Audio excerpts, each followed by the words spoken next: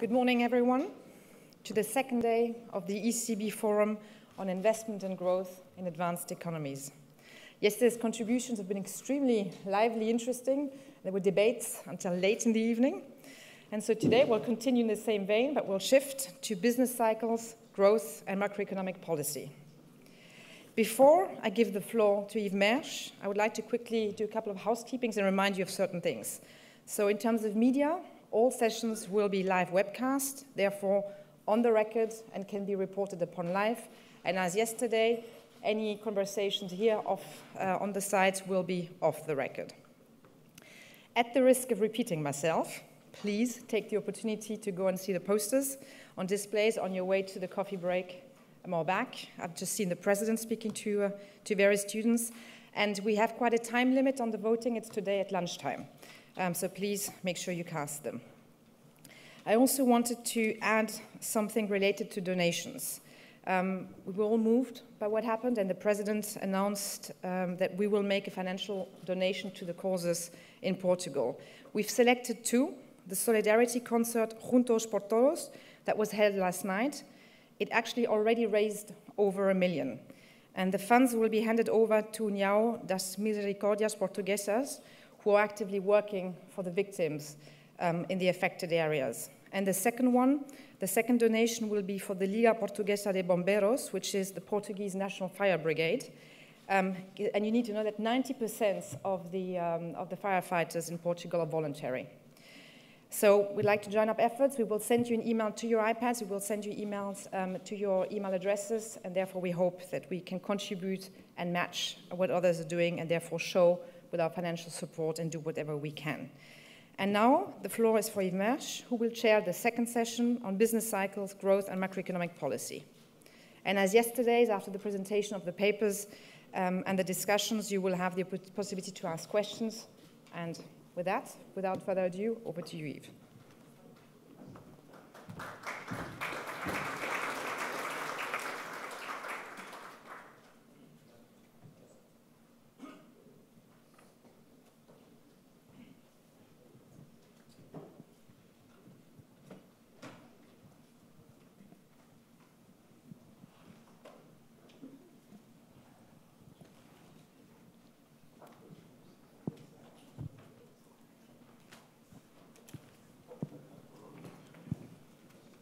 So good morning, everyone, on this beautiful rainy day.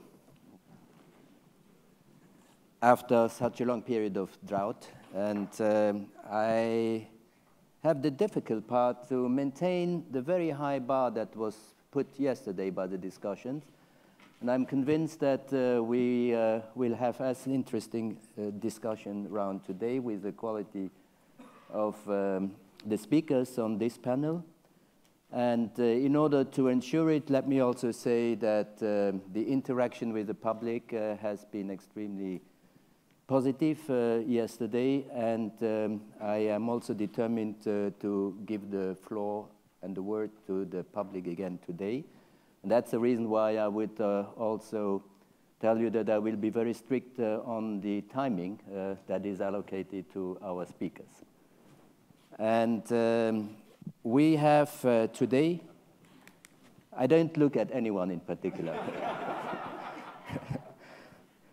we have today uh, a very distinguished uh, panel. We will discuss um, business cycles, growth uh, in interaction with uh, macroeconomic policy and also in particular monetary policy. Uh, for that purpose, we have asked for two papers. The first one, which will be presented by Bob Hall uh, is on sources and mechanism of stagnation and impaired growth.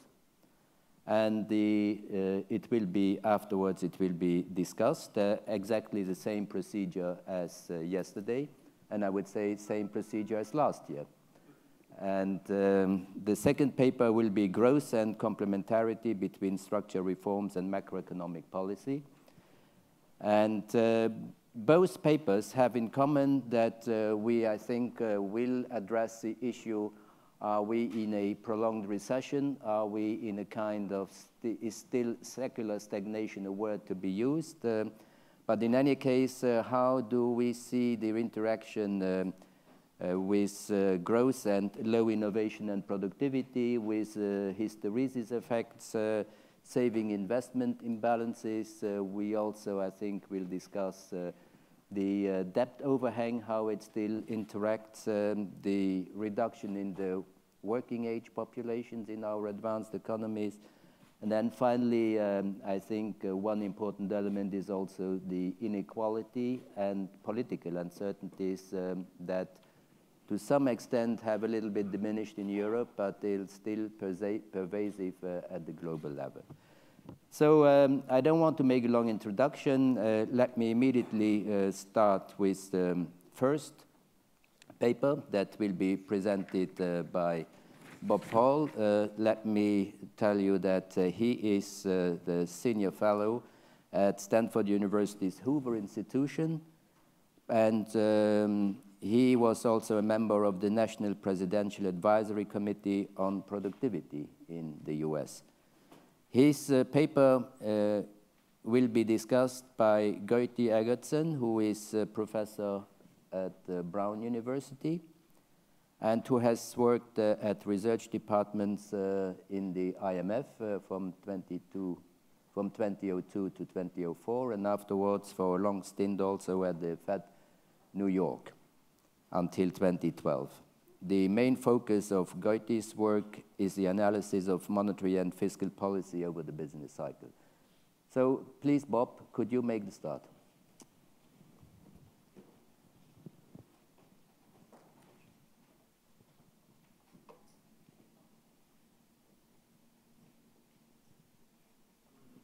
Okay.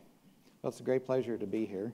Um, I only two weeks ago, I was at the conference of the Central Bank of um, Portugal. There couldn't be a bigger difference in one respect. The, in the directions for that uh, event, it says dress code colon, there is no dress code. um, now, I couldn't help noticing the contrast between what I thought was quite a downbeat uh, message from Chairman Bernanke uh, in the opening dinner, uh, and then a much more optimistic uh, view about Europe from uh, President Draghi um, yesterday, uh, sufficient to elevate the euro by several percentage points. I don't think I've ever been president when a market ever moved before. Um, the, but I think I'm what you'll see here today is more on the Bernanke side. Uh, ben was uh, talking mainly about uh, the particularly bad things that are happening at the bottom of the earnings distribution uh, in the US. I'm going to talk about something which uh, is, uh, I think, an important part of that story, which is even the average worker in the US and other economies uh, has not done very well, not so much from uh, the uh, crisis, although that had an immediate and powerful short run effect, but I'm going to talk more about the longer run effects that really came into play in the US and other countries around the year 2000. Um, one, of the, one of the themes of the work that I've done recently, which is cited in this paper, is that uh, the, although the US had a bad recession uh, starting at the end of 2008, um, it was only a typically bad recession. It was about as bad as the 1982 recession. Um, uh, and the US economy bounced back from it uh, about a, at about a normal speed. The real problem in the US was that it was superimposed on longer run adverse developments, especially with respect to earnings, which is what I'm going to talk about today. Uh, and, and, uh, and those adverse uh, developments began uh, well before the crisis. and in the, in the paper that by the way, just came out as a National Bureau working paper. I and three other authors developed that theme, I hope convincingly. If not convincingly, at least at great length. Uh, and so I invite you to, to take a look at that, which is now uh, available uh, in its, effectively its published form. Okay, so um, I'm going to talk about stagnation. Uh, stagnation is thought to be yesterday's issue. You know, Larry Summers made a big deal out of this uh, uh, now almost four years ago. Um, and I think generally sort of stopped talking about it because both in Europe and the US, we've seen a movement, uh, in the US's case, back to full employment, and in, in some European countries as well, but at least a lot of progress uh, in Europe. And so talk of stagnation has somewhat died down with uh, fairly good, uh, by recent standards, growth. Um, but, but in fact, uh, we, we know that uh, the crisis uh, worsened stagnation. One of the things I'll show you is uh, how much of that stagnation was already underway before the crisis uh, in many countries. Uh, so, so I think it's still appropriate to talk about stagnation. Um, and stagnation is not just a, a factor that affects people at the bottom of the income distribution. I'm going to talk about national averages, which are uh, something that can be documented from national income accounts. Uh, but, but you should think of that as one of the moments of a distribution of earnings. Uh, and in the US at least, the widening of the distribution, which has continued, uh, makes this, uh, the fact that it's mean, the, the growth of the mean uh, has dramatically slowed down as uh, amounts to stagnation as far as I'm concerned. Um, so the, the measure that I'm going to uh, talk about today uh, and focus on and decompose is real labor earnings per member of the population. It's not a number that uh, has, gets a lot of attention. Um, uh, it's a very comprehensive number in the sense that uh, by earnings, I mean uh, compensation, so it includes fringe benefits. Uh, it's the national income accounts are one of the best ways to understand how much of earnings today in a modern economy comes in kind from employers and not uh, directly in cash.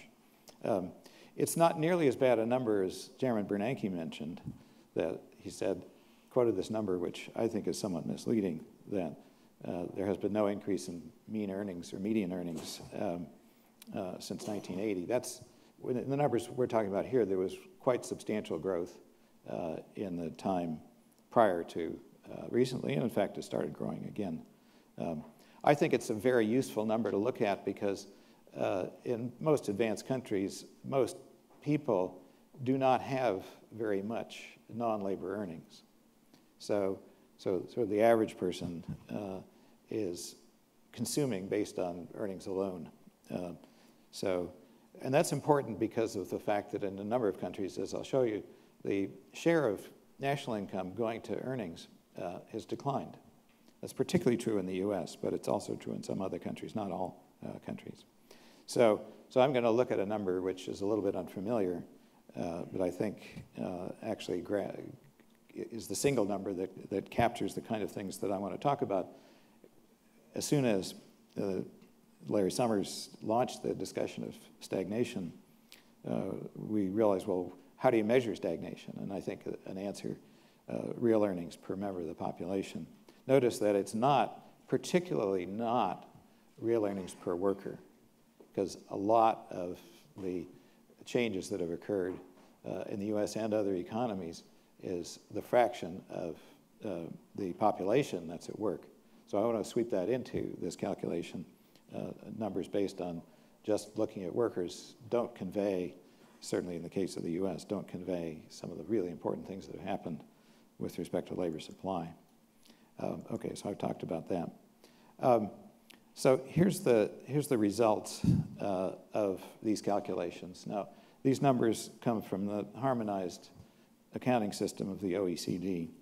Um, by the way, this is my first venture into, uh, it's throughout my career absolutely been a governing principle of my career that I study only the US economy on the grounds that the US economy is uh, sufficiently complicated to occupy at least a career. Um, but uh, for this group, it seemed to me that uh, having developed this accounting system and, and, sort of thought through these issues with respect to the US, which I've done in a number of earlier papers, including the one I just mentioned, um, this is just translating those calculations. But if you start asking me details about any country but the US, you'll embarrass me. So uh, I refer you to the OECD, for better or worse, uh, for uh, the documentation of, of these numbers. So, so the bottom line of this uh, analysis in terms of uh, macroeconomics is that macroeconomics is way more complicated and hard than you think. Uh, and the reason for that conclusion is that the, the economies, the six economies that I'm looking at, which are identified uh, here, are all advanced economies. They all have access to the same technology. They all have economies that are organized along the same principles of a mixture of, of government activity, and, but mostly relying on the production side on private activity. Um, they were subject to a worldwide financial shock in 2008. Everything ought to be the same. All these economies, by everything we teach, um, in terms of how there are random shocks impinging and go through an impulse response function, the, the orthodoxy of modern macro, when you feed the same shocks into, into the same model uh, with the same impulse response functions, you get exactly the same results, right? But that's not the way things work, as you can see from this picture. So these, this is the outcome variable that, that I'm interested in. Um, and uh, it's divided evenly between pre-crisis and post-crisis, seven years pre-crisis, seven years post-crisis. Um, and you can see the effect of the crisis almost everywhere uh, uh, as a decline uh, in 2008, 2009. Um, but uh, the pre-crisis development, one of the things that I didn't realize is that Germany was stagnated pre-crisis and the crisis energized Germany, and German earnings have risen much faster post crisis than pre crisis. Who'd have thunk? Um, so, so that's kind of a surprise. Um, maybe a little less surprising is that the performance of, of Britain, uh, which was very good pre crisis, uh, was at least average, so that by the end of the period, uh, the growth over the 14 year total period, 15 year total period, uh, was um, was at the top. Uh, the U.S. is uh, not so great. The, notice that the U.S. had the biggest uh, shock effect. Um, and that's because, as you'll see, uh, the, the rise in unemployment in the U.S. was higher than uh, other countries. And this shows the importance of keeping track of the fact that when there's fewer people working, average earnings per member of the population will decline. And that's particularly important for the U.S where unemployment is a particularly um, volatile, mean reverting uh, variable. Okay, so this is what we're going to try to untangle. Um, to untangle that, I'm going to do uh, something that comes very naturally to me because Robert M. Solow was my thesis advisor at MIT. Um, and he had recently, this tells you how long ago I was in graduate school, he had recently come up with this completely ingenious idea, which is, which has really dominated macro measurement ever since, of log linearizing the production function uh, and then observing that you could measure the elasticities as factor shares. So that gave a completely transparent way of thinking about how a set of macro variables uh, interact and give rise. Now, in his case, the outcome variable was just output. So he just log linearized the production function directly. I'm going to do something a little different because it's going to be talking about real earnings rather than output. Uh, but philosophically, this is what uh, Solow taught us. And so things like this are almost always identified with Solow as a Solow decomposition. So the first thing is that uh, real earnings, the outcome variable that I'm interested in, is by definition the labor share times some measure of real output. Um, now you can get into the details, but it turns out not in terms of these uh, log changes that we're going to focus on here. It's not a uh, we don't need to measure, it doesn't really matter exactly how you measure real output. Uh, what, however you measure it, you want this to hold as an identity, so you're going to have a corresponding way of measuring the share. A lot of these things I write down, are, there's no behavior here. These are all identities. Um, uh, and uh, the behavior is just reflected uh, in, in the decomposition. So we'll, we'll get to economics at a certain point. Right now, we're just talking about identities. Um, okay, so then real output is the output per unit of labor input times the volume of labor input. So this is going to be a labor productivity uh, uh, exercise. Of course, it's going to be driven by total factor or multi-factor productivity, but uh, I'm going to state it in a form which is often used in growth theory, which is to state things in terms of uh, uh, uh, per unit of labor input. Um, so so that's something to keep in mind.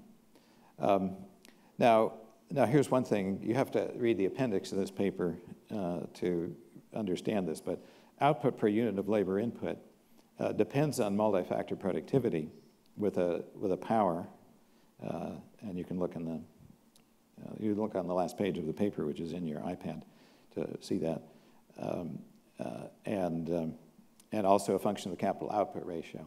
So this is going to enable me to, to talk about the effect of capital accumulation or, and, or the slowdown in capital accumulation as a determinative factor, but normalizing by the level of output. And that's quite instructive. I think that's a, that's a useful thing to do.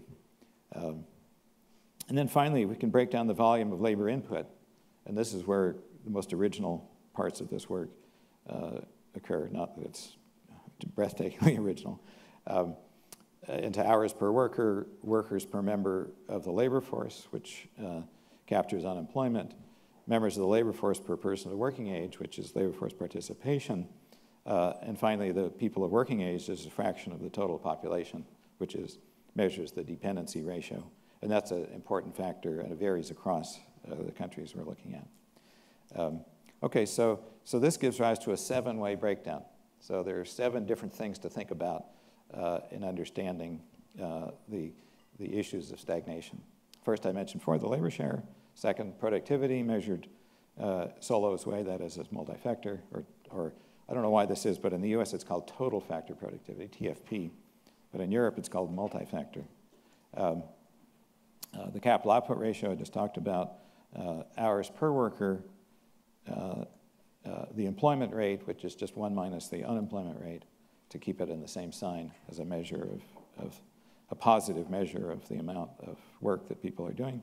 Um, uh, the ratio of the labor force to the working age population and the ratio of the working age population to the population of all ages. The last, by the way, over this period is actually not very important. Uh, it's, a, it's a pretty steady trend. We're not going to spend a lot of time on that. But the others are all, we'll get to the economics as soon as we start talking about uh, each of these. Um, Okay, then just to summarize in a table, uh, the findings that were also shown in that, in that picture, which is the uh, growth rates of real compensation per member of the population, now averaged over the, the seven years uh, pre-crisis and the seven years uh, post-crisis, you can just, again, see the heterogeneity uh, in responses. And basically, these six countries arranged in alphabetical order fall naturally into groups. Don't ask me why, but uh, the alphabet helps here. Uh, so France and Germany uh, resemble each other in having uh, low or even slightly negative, in Germany's case, uh, performance uh, pre-crisis, and definitely leading the pack in terms of post-crisis performance, measured by this measure.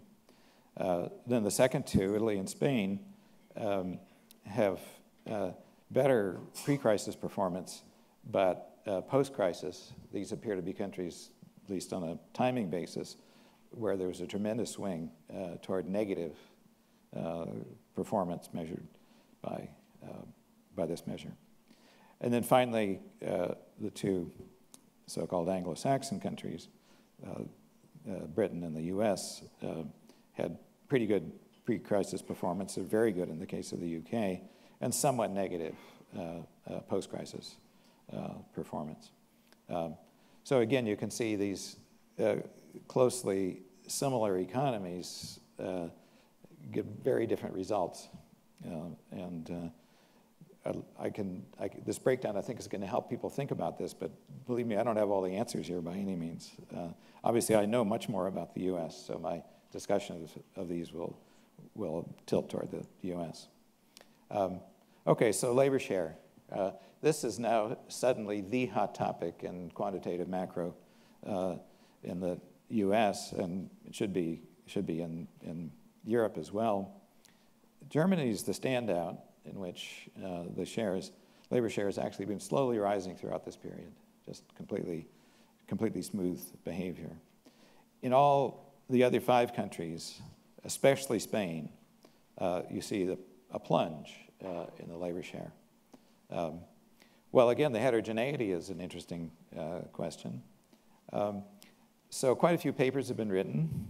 Uh, several of which I've been called a referee, called upon to referee, by the way. So uh, I've acquired, I haven't written on this subject, but I've been paying a lot of attention to, uh, to the evidence.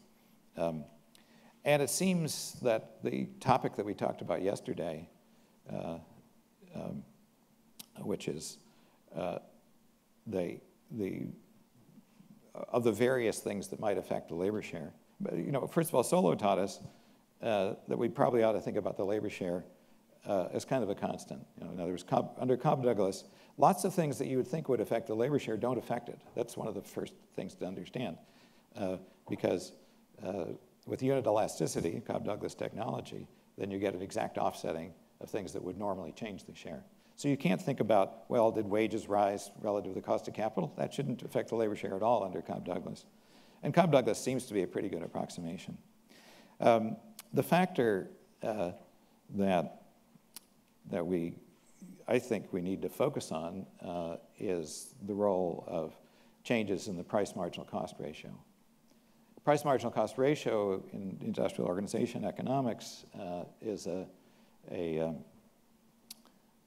is a measure of market power, but is market power very, very generally described. For example, in monopolistic competition, uh, you have market power even though we think that, that there's zero uh, profit available to the marginal entrant.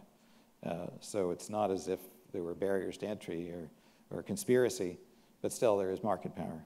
Um, so uh, that's an idea that, that has been pushed pretty hard uh, by quite a number of authors uh, in, the, in the US with respect to this decline in, in the uh, labor share, which is one of the three big factors we're going to see labor share, uh, productivity, and, and uh, at least in the case of the US, uh, participation. Um, uh, but of course, it's heterogeneous. Why should it be so much bigger in Spain? as Spain isn't the headquarters of high marginal cost, price cost ratio companies like Google. Um, marginal cost at Google is essentially zero. Uh, so they have infinite marginal cost, price marginal cost ratio. Uh, but Spain is the country where you see the biggest change. Now that, I think, is, is something that we ought to be looking at. Then you see these cluster of, of countries, and you see Germany uh, just sailing along with uh, slightly rising. Um, I think probably the productivity uh, uh data are, are well known to everybody. Uh, that is, productivity growth has been terrible in all these countries. We, we see it as kind of a crisis in the US. There's a lot of discussion of why earnings growth has been so low in the US. Say, how can it be? We have a very tight labor market. We have extraordinarily, uh, uh, it's extraordinarily difficult for an employer to find a worker in the US today. Uh, that by the measure, that measure of duration to finding a new worker, the US labor market is tighter than it's ever been. The number of people who have just entered unemployment as a fraction of the labor force in the US since we kept records since 1948, is lower than it's ever been. We have the tightest labor market you can imagine. Not that far after this terrible recession. Um, but, but it's not driving uh, earnings growth. Uh, and the reason it's not driving earnings growth is that productivity growth is low. That's left out of many accounts, but you can, you can see, even though it's the best over this whole period, it's been very low uh, since in the post-crisis period. But we can't find any evidence that it's the result of the crisis. That, that we looked into in this paper that I mentioned before. Um, and then other countries, the UK, which is a strong performer by most measures, uh, by, by productivity growth, is terrible. Um, so this is, this is in some ways the central problem of modern capitalism is that we just can't get any productivity growth anymore.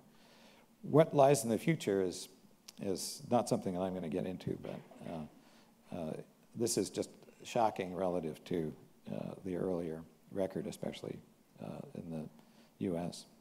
Um, uh, the capital output ratio, there's, there has been uh, um, a, a lot of discussion of the shortfall of investment, but the shortfall of output is so much higher than the shortfall of investment uh, that uh, the decline in output relative to the capital stock, which is a slow moving state variable, has actually raised the, the crisis increased the capital output ratio, saturated the economies in capital because of the decline in output. And that decline comes from all the other factors, the adverse factors that I've talked about.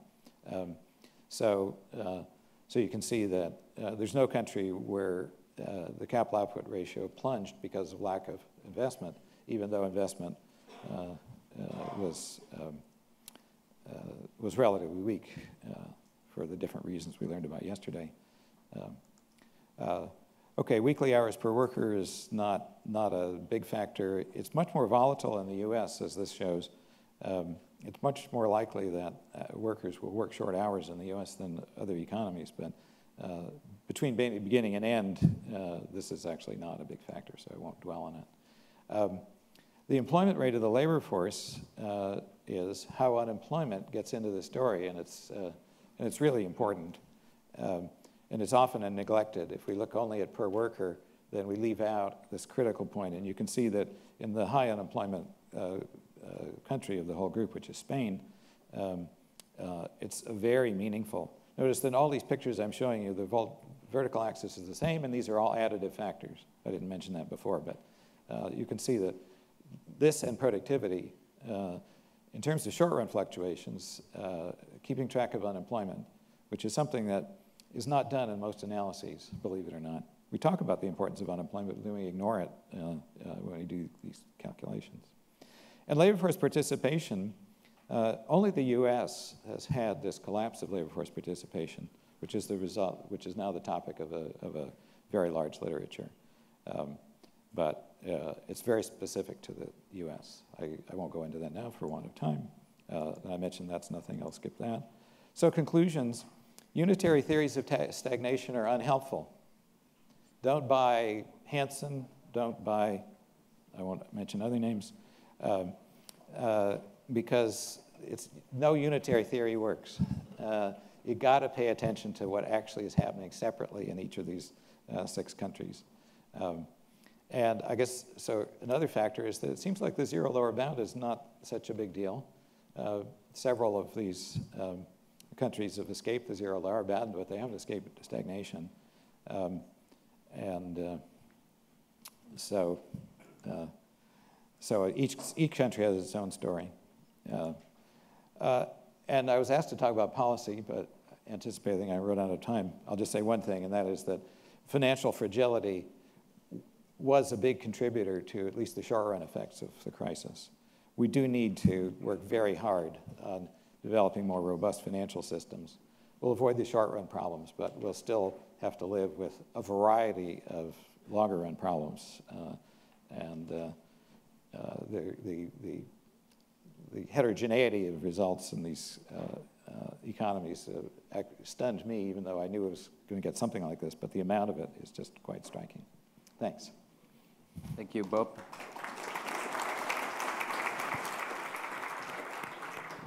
And thank you for respecting your time as well. Uh, I will now hand over immediately uh, to Gauti and uh, to discuss this very focused, labor market focused uh, analysis by Bob.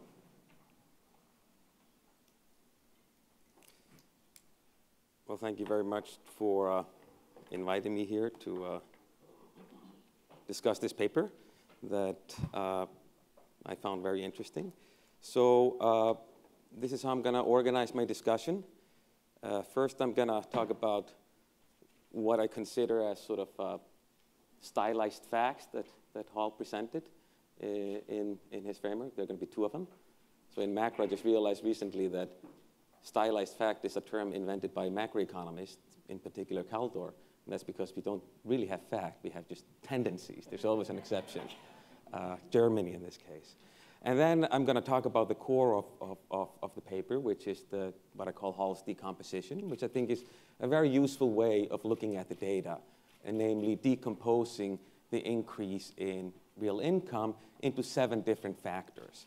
And I'm going to present it slightly differently than, than, than uh, Bob did, uh, in a way I hope is useful. So uh, then, of course, I'm going to uh, talk about interpretation, and here I'm going to uh, separate paths with Hall and suggest, Bob, and suggest that unitary theories are going to be very helpful to understand what is going on.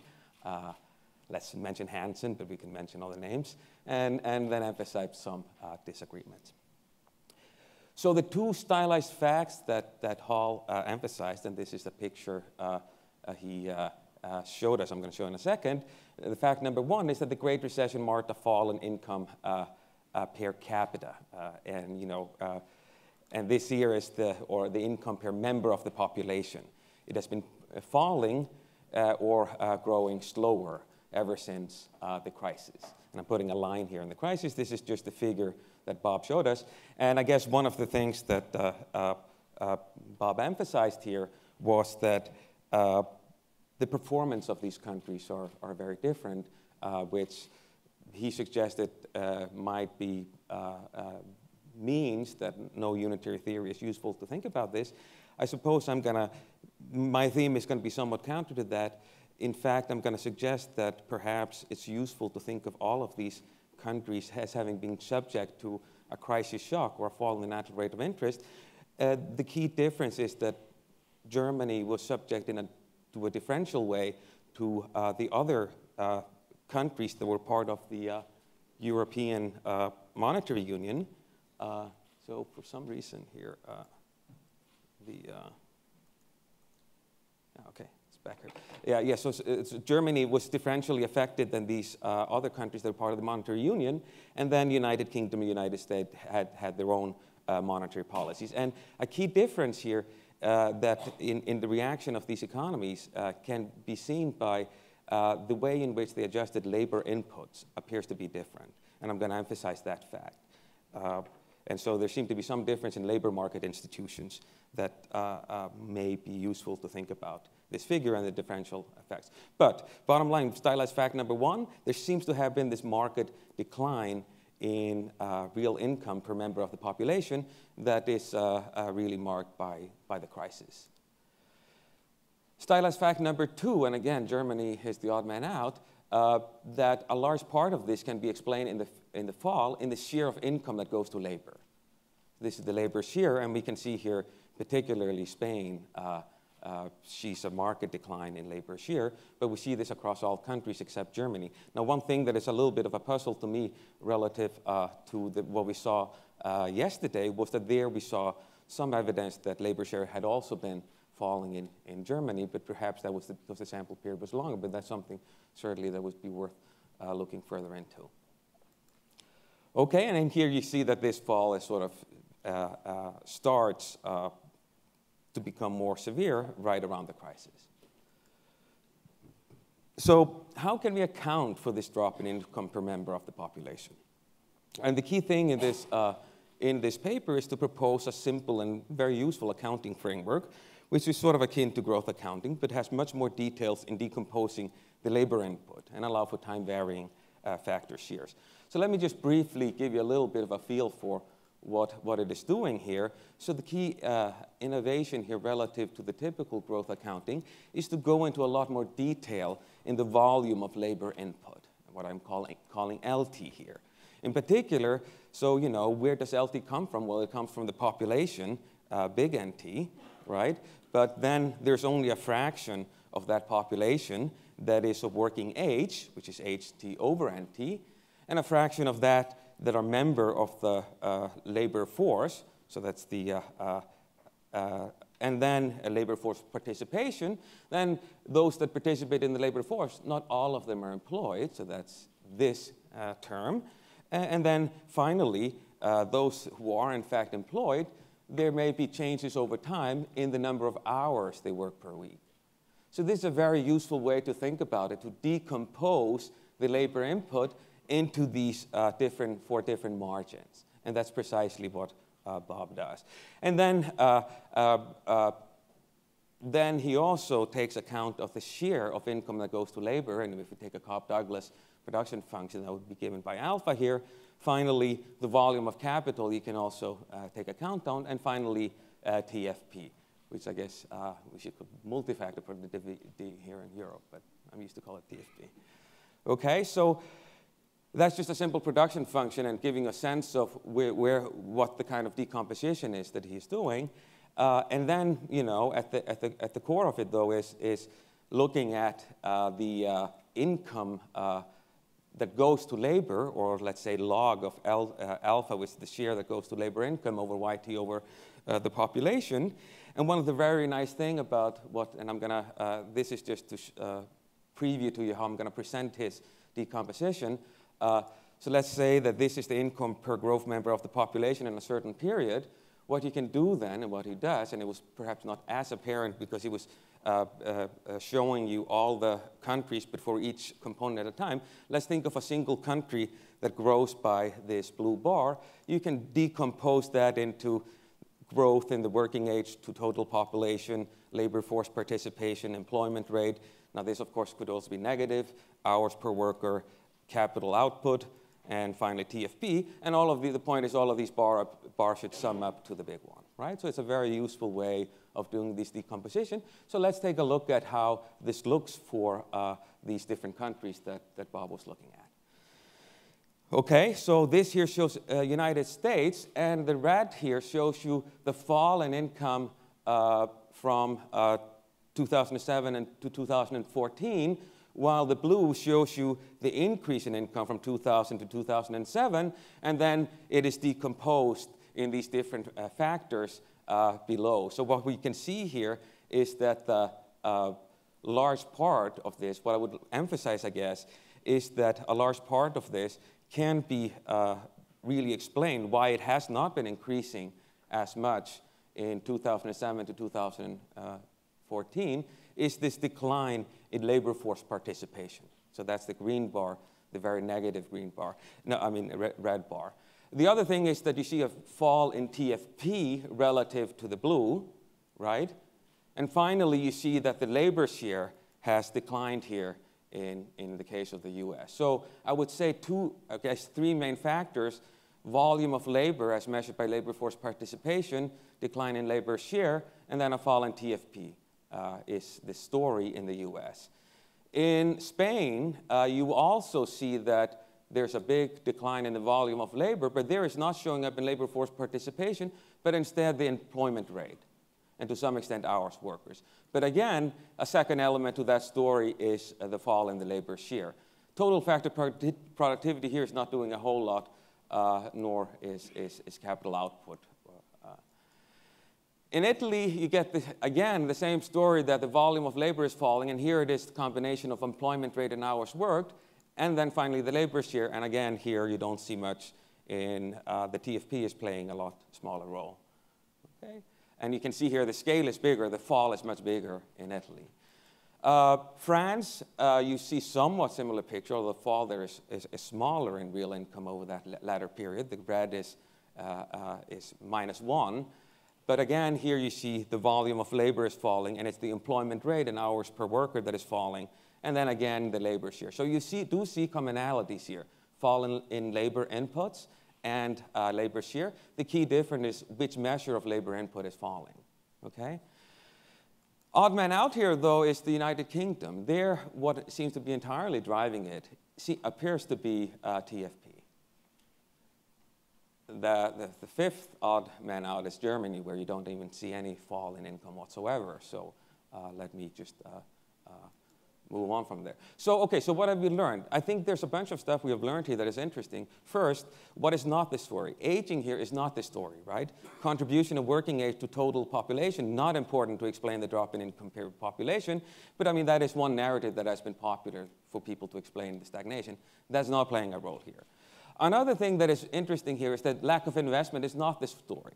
Uh, contribution is very small, and that comes directly out of this decomposition. It's interesting. And uh, there are some that have argued that uh, financial friction was holding back investment, and that is driving. This is suggesting to us that is not uh, that important.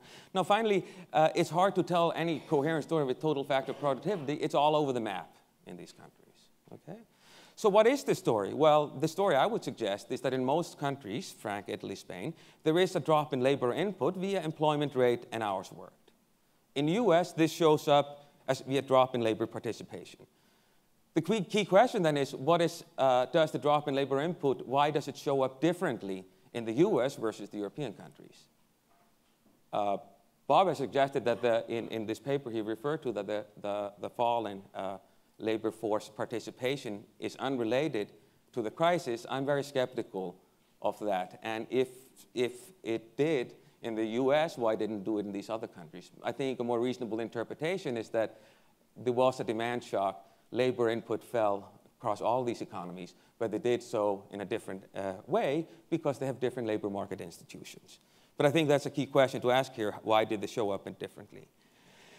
What is the story? Well, there is all uh, these countries, except for Germany, show a market drop in labor share, violating sort of a classic Kaldor stylized fact. And I guess one key question is what is driving the drop in labor share? And I think there was a very interesting discussion here yesterday. Uh, I have th had thought of this uh, as being just due to an increase in monopoly power in the US, but it looks like this is a phenomenon that is also taking place in Europe, and it's much harder to tell that story in Europe, apparently, at least according to the talks we heard yesterday. So then the question is, what is explaining it, if not uh, increase in monopoly power? Or it, it, cannot be the only story if that, has, if that development has not been happening in Europe. Okay, so peculiar number one, that the TFP rather than change in labor input is driving the UK, UK slowdown in income growth. Uh, drop in labor share still uh, there. Uh, peculiar number two, Germany, well, what's new, so not dwell on that. Uh, but I think that perhaps is because they were not uh, affected as strongly by the financial shock for, for whatever reason. Uh, uh, so the bottom line here is that uh, nowhere is lack of capital formation a big deal, nowhere is aging a big deal, labor share falling across the board. In Spain, Italy, France, the labor, the labor income stagnation also shows up in labor input, while in the UK, the productivity seems to be the main culprit. and Germany, no stagnation. Let's now talk a little bit in the two minutes I've left, a little bit about interpretations. Uh, one thing I think uh, uh, I find a little odd about, uh, and he didn't really, Bob didn't speak too much about it, uh, is that uh, this notion that insufficient demand would have to show up only via one, one measure of labor input, namely the employment rate. I see no reason why you wouldn't expect a low demand showing it, for example, in participation or hours worked. Uh, and and uh, so I think that's, uh, uh, so in, and that has been my theme here. Perhaps, perhaps labor rationing is simply happening via different mechanisms across the countries depending on the labor market institution. I also see no reason why demand shocks cannot show, show up in total factor productivity. In fact, there's one of the papers here of, of the young uh, economist that is modeling exactly that channel where it works through innovations. And, uh, uh, you know, that's the hysteresis effect. And even uh, uh, Bernanke suggested another hysteresis uh, mechanism in his talk, if I understood him right, which is essentially the financial crisis got people out of uh, work and they became addicted to opioids. So, you know, that's a, that's a pretty classic hysteresis effect where you permanently scar the labor force, force with unemployment. So bottom line, I don't see anything here uh, in the result that suggests that a slowdown is not driven by demand. And uh, uh, uh now, does that matter? Well, it matters because uh, if you say that that is not driving it, you sort of give uh, monetary policy a free pass, which I think would be a mistake, especially here in Europe. and it also, it sort of ignores the obvious thing that these countries have in common. So which is that, so what would you have expected in a demand-driven recession? Well, you would have expected that uh, interest rate would be low, inflation below target, and then an output gap. I, I, suggest to you that we have seen all three things in the countries in question. And there's nothing that says that that output gap needed to show up in, in XT. So I'm out of time. Uh, very interesting decomposition. My interpretation is somewhat different. Uh, I don't think we know exactly what the source of this is, but I think this paper gives a very valuable tool tool via the simple decomposition. Thank you.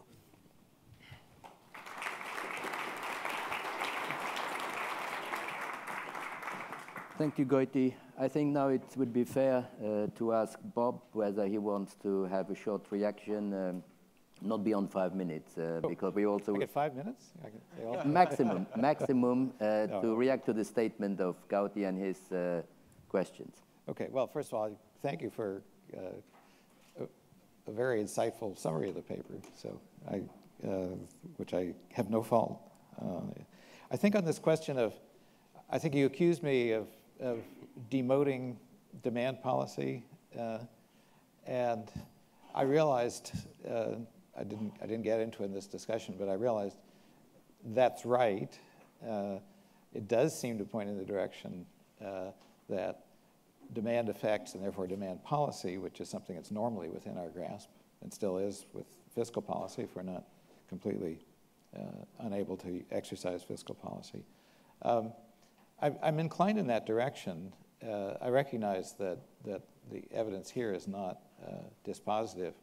Um, one of the things you mentioned is that there's no reason in principle why uh, demand wouldn't enter the determination of labor force participation. But uh, that's something I have studied very carefully in the US.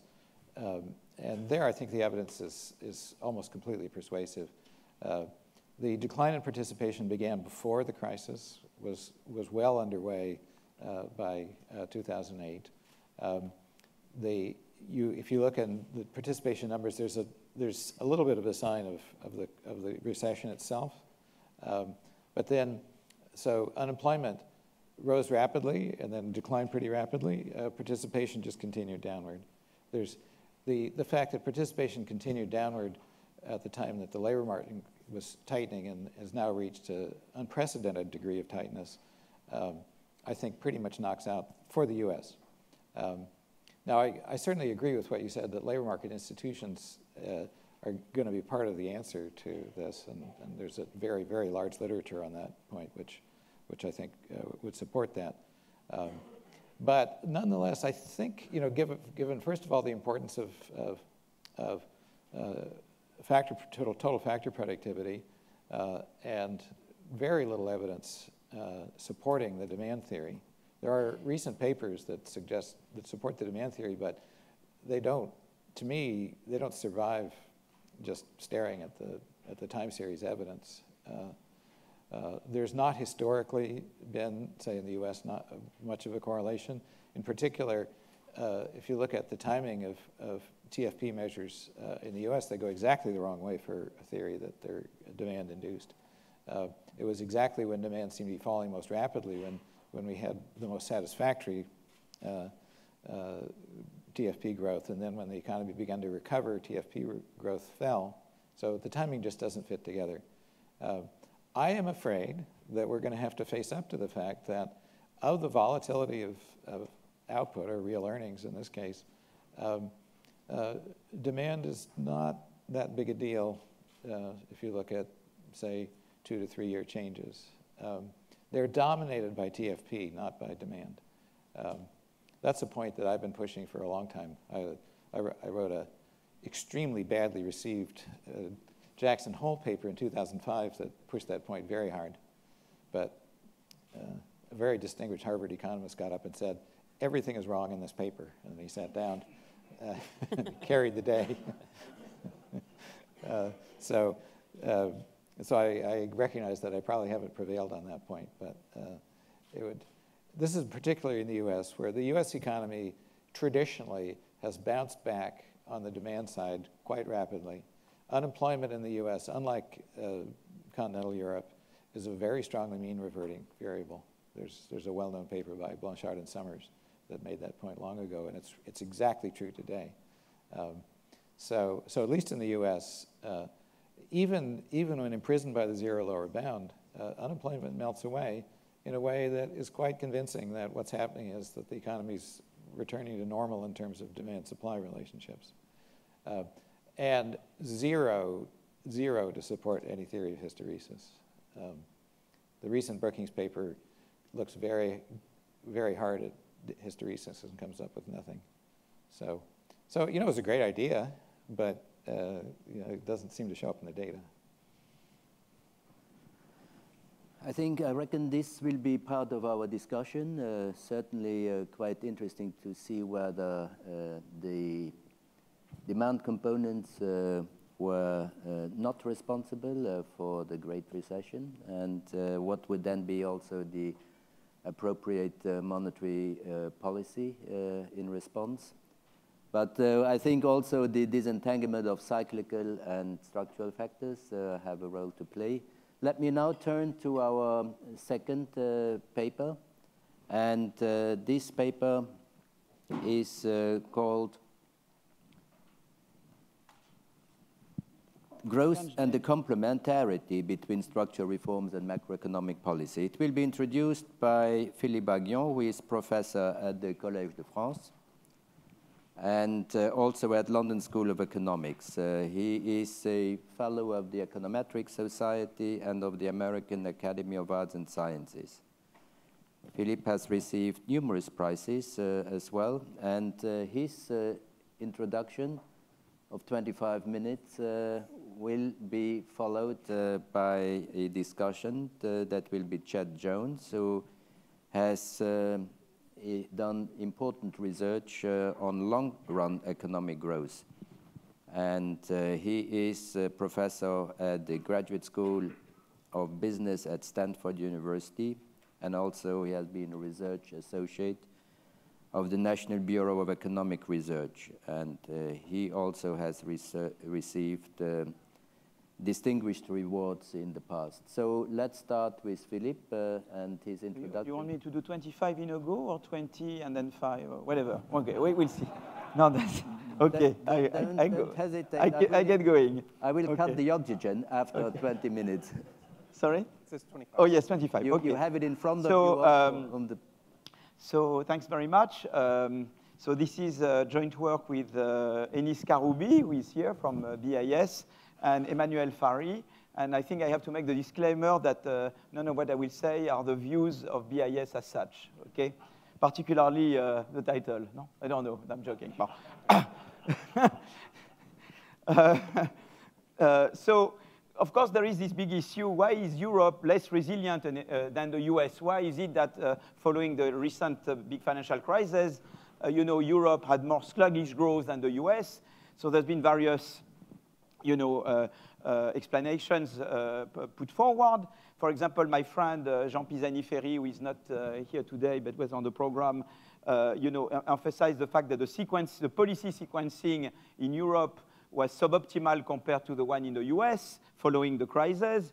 Uh, uh, other people have said, well, more, more fundamentally, there are two things that you have in the US that you don't, that you don't have in some European countries, uh, starting with my, with my own, uh, uh, is a lack of, uh, is, is, particularly is the failure to implement structural reforms. and also people have blamed at the European level a lack of reactivity in macroeconomic policy compared to, compared to um, US. So in 2014, Mario Draghi uh, pointed to the uh, complementarity between proactive uh, monetary policy on the one hand and structural reforms on labor and product markets on the other hand. He said there is that much I can do, but on the other hand, uh, countries have to do their homework and they have to do structural reform. In particular, my own country has to decide to do serious structural reforms. So uh, here I will focus on product market competition and we argue that there is complementarity in inducing more growth between uh, a more proactive monetary policy, a monetary policy that reacts to the business cycle more, and a more competitive environment. Okay, so that's, uh, that's what we are trying to do here. So uh, there is first a model, which I will not uh, uh inflige, uh, uh, which I will not impose on you, but the first part of the paper is a formal model. In, in our model, you have an economy where firms can make growth-enhancing investment, but they are subject to liquidity shocks. To survive liquidity shocks, they need to reinvest in their project uh, at the interim period, but, but, anticipating that they might face liquidity shocks and therefore have to reinvest, uh, uh, uh they, they may want to hoard some liquidity uh, uh, to start with to, to, have, to do less reinvestment exposed. You see what I mean? So, so they may have to sacrifice because they may want to make sure that they have enough to reinvest at the interim period. So what you do is that when you know you face liquidity shock, you tend to hoard liquidity, to not invest all your liquidities in the first place, because you want to make sure that if you have reinvestment needs, you, uh, uh, with your uh, profits plus the, the hoarded liquidity, you have enough to reinvest and continue the project, okay? Uh, uh, so a main, a main, prediction of this is that, of course, a, a more counter-cyclical interest rate, particular lower interest rate in recessions, uh, would reduce the amount firm, of liquidity firms need to hoard to weather liquidity shocks. Okay? And so uh, the pre prediction that come out of that model is first that the more likely liquidity shock, the more growth enhancing uh, uh, it is to have more counter-cyclical interest rate, but, uh, uh but, uh, but uh, particularly when you have high competition. Because when you have low competition, firms make low rents, make high rents. So when they have high rents, they can always use these rents to reinvest. But when you have high competition, there is less rents that you can use at the interim period to reinvest. And therefore, you need to hold more liquidity. And that's where a more counter-cyclical uh, interest rate would help firms. You see what I mean? That's, the, that's where the interaction between uh, uh, interest rate and competition, uh, uh, cyclical competition plays, okay? So, uh, uh, so the, to, to test this, we, we do the following. We will use a difference in difference approach, comparing pre versus post-OMT industry growth in a sample of euro area countries. We relate the change in growth uh, uh, to the unexpected change in 10-year government bond yields between pre-OMT and post-OMT. The announcement of OMT lowered uh, uh, the, the yields, the bond yields, and, and stimulate growth. You see what I mean? That's the idea.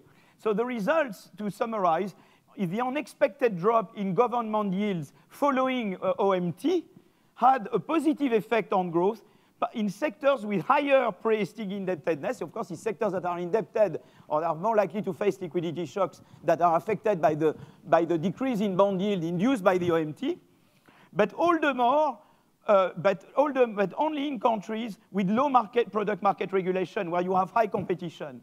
So we see this interaction between product market competition and the OMT policy. Okay? So it's twice a tribute to Draghi. First, the idea of the complementarity and the OMT. So it's, uh, voilà. Uh, uh, so, uh, and pre-existing levels of indebtedness as, as a drag on growth, the more so in countries with high uh, uh, with low product market regulation, which means with high degree of competition. I, I, I watch the time. Huh?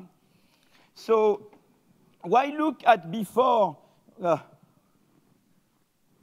I get dehydrated. Why look at before versus uh, uh, after OMT announcement? Because we are interested more generally in the effect of monetary policy on growth, but of course, this raises always an endogeneity issue. You may, are you capturing the effect of cutting interest rate in bad times on growth, or are you capturing the fact that it's easier for fast-growing country to have a more counter-cyclical policy? So how do we address this endogeneity issue? Is we look at OMT as the ECB response to the Euro European sovereign debt crisis, and we look at the, at the effect of the unexpected change in government bond yields following the announcement of OMT. And is the effect of that thing on growth that we are looking at. Okay? So some historical context, uh, over 2011, 2012, uh, some major euro area countries faced severe spikes in government bond yields, raising prospect of sovereign default.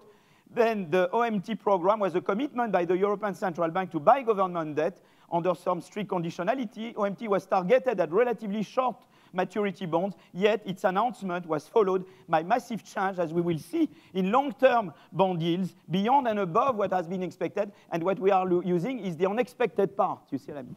Uh, uh, the, the, the forecast error the effect of the forecast error in the long-term young, uh, bond yield. So we measure the unexpected component in bond yields by the forecast error, defined as the difference between the realized bond yield in a, a quarter Q of year Y and the forecasted bond yield for that quarter at the end of the previous year. And we average over quarters for any given year. And what we do is to compute the, change in the forecast error, in the average forecast error over quarters between the period 2011-2012 and the period 2013-2014, pre-OMT, post-OMT, okay?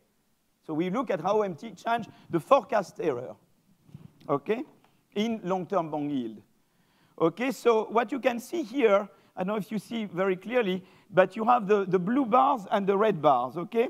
So the, the, red, the red line is the forecast error in the policy rate, in the three-month interest rate, which is the, the, the, the, policy instrument. But what's interesting is the blue bars. Those are the forecast error in the 10-year yields. And what you can see is that for Spain and Italy, you see before the uh, uh, OMT, uh, uh, you, you see you have uh, the long-term rate were above the forecasted rate. You see what I mean? You were, uh, uh, things were worse than what you expected. But, but then after the OMT, is the other way around. The long-term rate are way below the forecast uh, levels. You see, you have a decrease. You see the forecast, the, the, the real goes below the forecast, okay? So there is a, a, drop in the, you see, the, in this, uh, uh, in this uh, forecasted error. You, you, can see that in, in, Spain and Italy. And those are countries where you have high level of debts. You have a, a highly indebted. And, and uh, if, you take, if you take, for example, uh, other countries like uh, you see here, you, of course, the, the raise, you see the, the, the fact that you have above forecast long, long-term yields before was due to the European sovereign debt crisis. And then the, the, the, dotted line is the OMT, and then the OMT changes things. Then after that, it goes the other way around. You have uh, the realization goes below forecast, okay? So there is a dramatic effect of, of the announced OMT. But if you look at other countries, for France and Germany, which were not in so dramatic debt problem, you don't, you don't see the same effect, you see? Okay, if you look at the US and UK, you don't see the same effect. So it's particularly important in countries where indebtedness was high. Okay, so uh, uh, so now I can look also at unemployment. Spain, uh, uh unemployment was above forecast. Uh, uh, you know, when you had the, the sovereign debt crisis before the OMT, but after the OMT, unemployment goes below forecast. Okay, and same in Italy. If you look now at growth, so the, the, you see uh, uh, what you see now, the red line, the red line is the, the, the GDP, the, the error in GDP. Uh, uh, the red line is, uh, um, is, the, is the growth, the, the, the, the, the error in growth forecast. And what you see is that prior to the OMT, the true growth would be would, would, would go be, you know, more and more below the forecast. But you see that the, the movement Okay, and that's, uh, that's true for Spain and, and Italy, but particularly for Spain. Okay, so, uh, uh, so now what I want to do is to look, I know that OMT has an effect on, on the long-term bond yields. I saw that this has effect on growth, on employment, but I want to know how the, the, the effect, uh, how this interacts with product market regulation, okay? So what I will do there is that I look at product market regulation. You can see, I have nine minutes left, huh?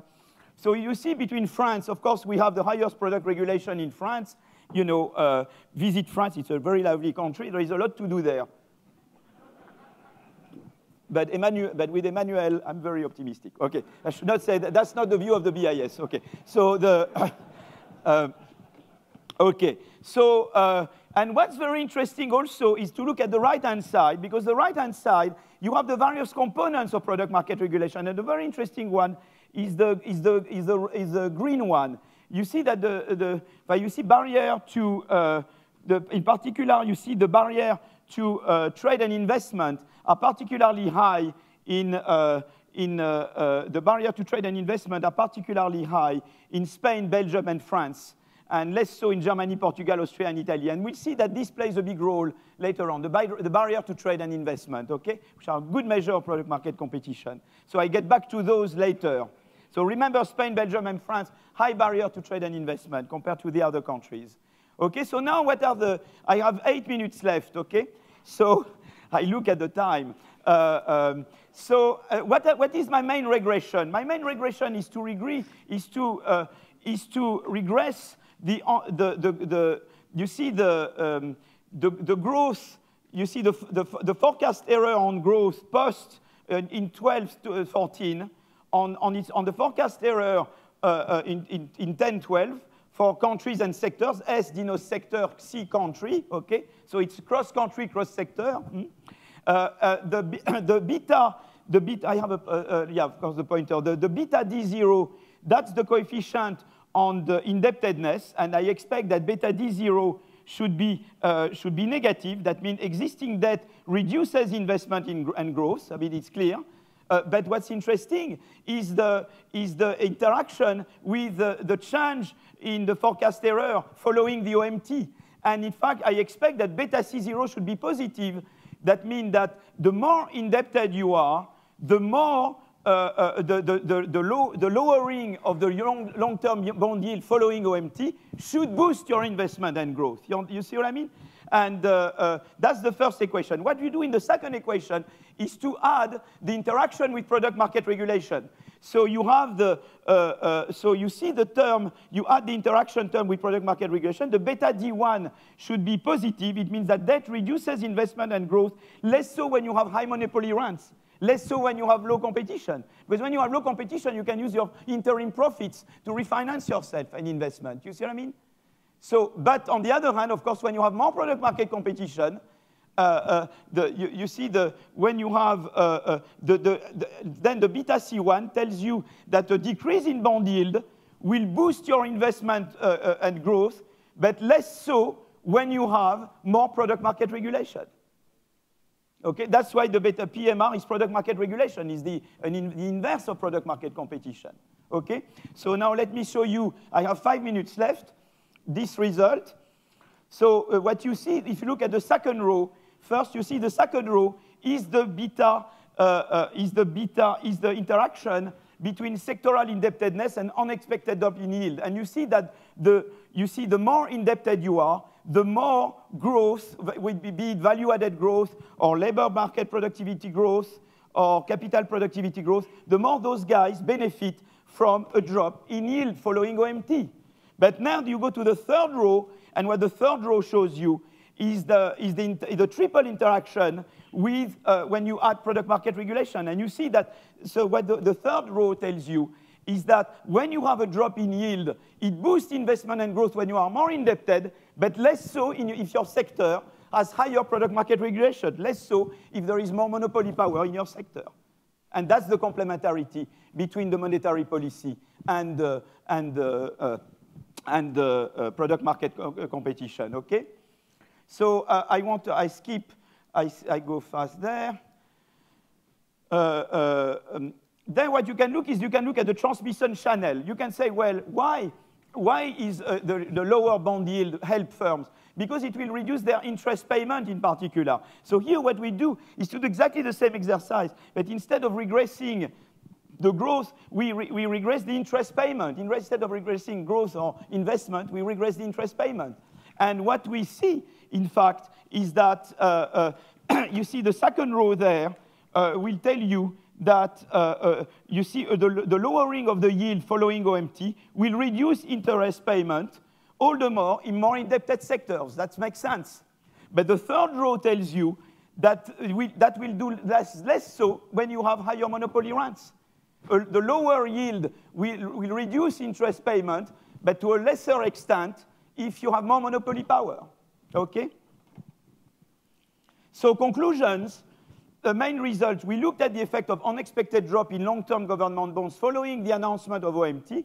We found that heavily indebted sectors benefited disproportionately from the unexpected drop in long-term government yield following OMT, but only in countries with low index of product market regulation. In other words, with countries with higher degree of product market competition. So what are the next steps in this research? Is to look not only at product market, but look at labor market. We want to redo, to take as an interactor product uh, labor market regulation. You know that in France now we are engaged in a, in a big re, uh, labor market reform that will be key to uh, save the world, okay? Uh, uh, uh, and so that's the thing, that, that's one thing we want to do. But the second thing, here I use sectoral data. But in fact, what we want to do is to use firm level data. And the whole problem is to match firms and to have firm level measure of credit constraint. And for that, you need to, to, to match firms and banks. So Chodorow, Gabriel Chodorow has done that for a subset of firms in the US. We have comprehensive firm level data, and we just got the permission to match. You know, in France, you are very good, but you need to get permission from various institutions. And each time they change the director. So when you get the green light from one, they change the director of the other one. You see what I mean? And so you need periods where you have two remaining directors. And uh, uh, so it takes for very long. Otherwise, I would have shown you the firm level results, but I couldn't, because that's what I am aiming at, okay? So, mm, so what I will do later, but I think that I do later, so you tell me you are the boss.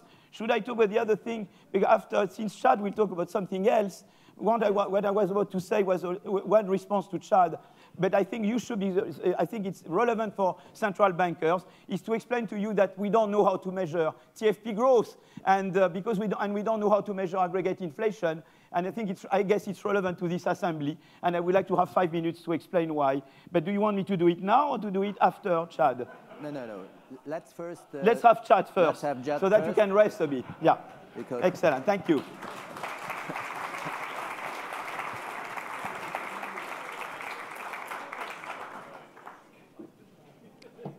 Okay, but I, I want to thank Philip also for the, the high amount of discipline uh, of his presentation and respecting the time. So you have a very difficult uh, role now to discuss uh, all the messages that we have received. Wonderful. Well, it's uh, certainly a pleasure to, uh, to be here and participate in this session. Um, uh, the paper that Philippe just presented is a, is a classic Aghion paper. It's, uh, it's ambitious, it's provocative, and it ingeniously address, addresses a, a, fundamental issue um, of importance to the ECB and, and, and many other uh, economies. Um, as I considered my remarks, I appreciated the fact that I'm uh, surely the least knowledgeable person in, the, in this esteemed group um, concerning monetary policy and OMT and the effects of OMT. And so that left me with a conundrum um, I realized I had a comparative disadvantage in commenting on uh, Philippe's presentation. Uh, so with apologies to Philippe and his co-author, I took the second alternative that the organizers offered me, and that is to provide my own perspective on the topic of our, of our session, um, growth in advanced economies. And in particular, I want to think about this question of uh, how do we understand what accounts for the slow productivity growth that we've seen uh, in the United States and Europe in the last 15 years. So uh, that'll be the, the thrust of my remarks. Um, I want to begin by uh, just reviewing the basic facts very quickly. You're familiar with them, and we've seen some of them today. Um, my remarks are going to basically say what is, what is the recent growth literature? How does that help inform us about the sources of the productivity slowdown? So I want to review the theory briefly and then discuss the evidence from, from the recent literature uh, and then conclude with prospects for the future. Okay, so uh, this first graph is, is one that uh, I'm sure is familiar to you, but it, still I thought it was helpful to look at the evidence. So I'll start with the US and then I'll show you the, the European TFP growth on the next slide. Um, first, we have um, private business sector total factor productivity growth.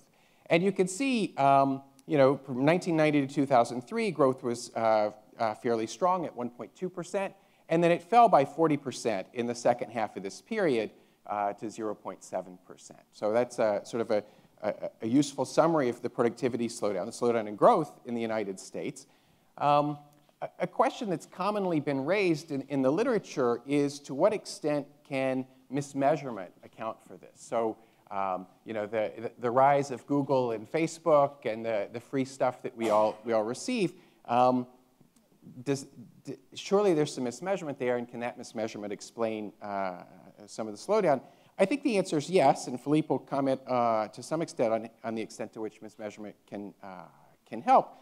On the other hand, we know mismeasurement is not the whole story. So there's been recent work by uh, Chad Syverson, uh, John Fernald, and other people arguing that mismeasurement is not the whole story. And, and, my version of that, I guess, I found interesting to look at the manufacturing sector, where we, we think things are relatively well measured and where, you know, at least arguably, a lot of the uh, Facebook, Google uh, innovations aren't necessarily uh, impinging strongly on this sector. And the, the striking thing there is you see the productivity slowdown is much, much more dramatic. Um, as we saw yesterday, this was the rapidly growing sector uh, historically, so 1.6% growth in the first half of this period. In the second half, productivity basically stagnated completely, so a growth rate of 0.2%. So really dramatic productivity slowdown. So uh, how do we understand this fact is going to be the, the first question. Then extending the analysis to Europe, um, uh, this shows you total factor productivity in the US again, and then uh, France, Germany, Italy, and Spain. Uh, these numbers are from the, the Penn World Tables uh, latest database. And you know, you just see that the slowdown is even more striking in, in Europe. So uh, Germany shows slower productivity growth than the US since 2000.